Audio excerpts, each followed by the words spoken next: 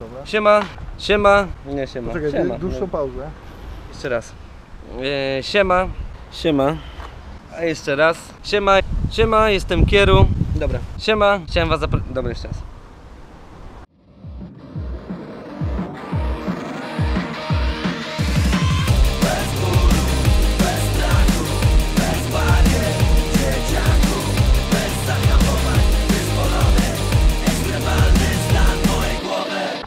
Siema, jestem Kieru, jestem przed wydaniem swojej debiutanckiej solowej płyty.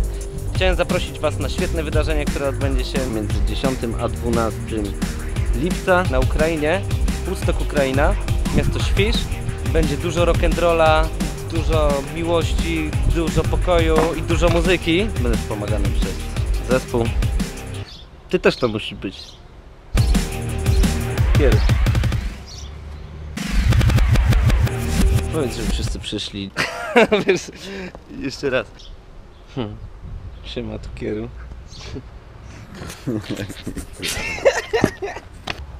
No cześć.